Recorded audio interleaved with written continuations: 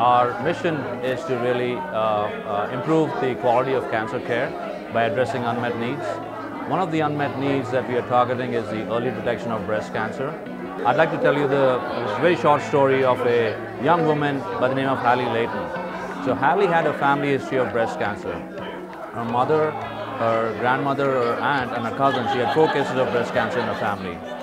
So because of that, she decided to start screening mammograms early in her life. From the age of 35 to the age of 39, she had five screening mammograms, all of them were deemed normal. Following her last mammogram during a physical exam, her gynecologist discovered a lump in her breast. When they did an ultrasound and a biopsy, they discovered she had stage 4 breast cancer. But what the real shocker is, her tumor was the size of a tennis ball, and I kind of brought one along to just show you what, that's, that's pretty big. Now, the question is why?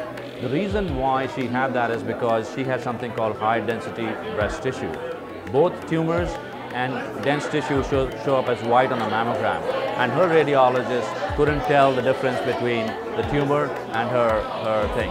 Unfortunately, she died at a very young age.